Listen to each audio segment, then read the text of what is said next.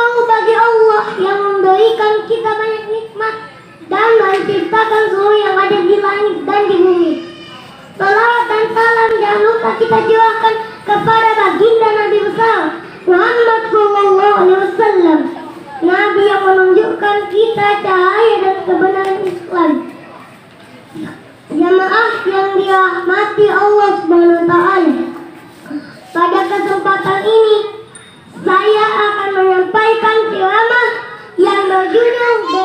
berbakti kepada kedua orang tua.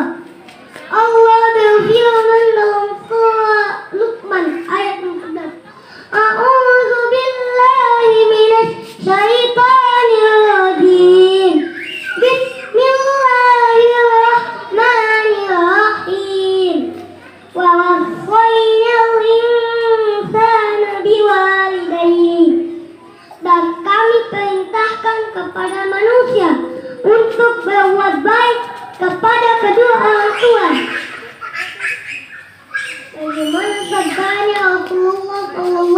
Al jannatu tahta aqdamil ummahat.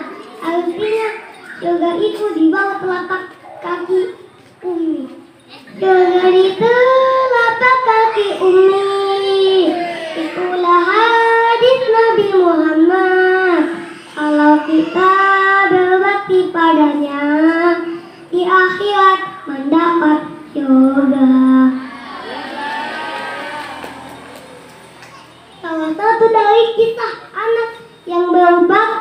Kepada kedua orang tua yaitu Wais Al-Qarni.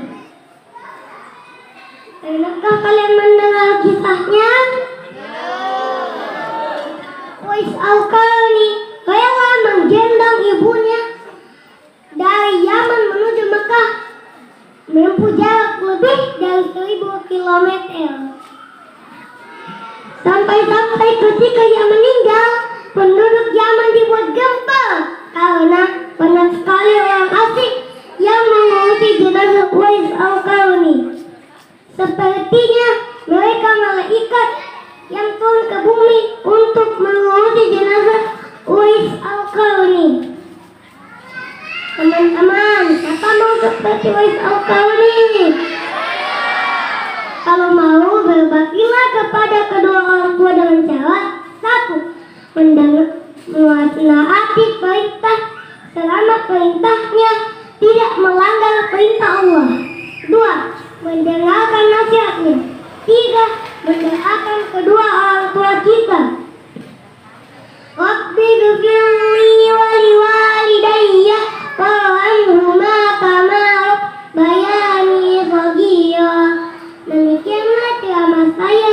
Semoga saya dan kita semua menjadi anak yang berbakti kepada kedua orang tua. Wassalamualaikum warahmatullahi wabarakatuh. Waalaikumsalam warahmatullahi wabarakatuh.